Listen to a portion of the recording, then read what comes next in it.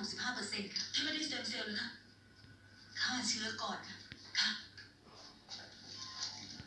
นั่นมีเขาเลยค่ะ และเธอตั้งท้องแปดเดือนเจมี่นี่เจ้าหน้าที่ NCIS ไฮพรอม่มาร์ตี้ดิกส์สวัสดีค่ะฉันแคทตี้ไบรน์เสียใจที่ต้องพบกันในสถานการณ์แบบนี้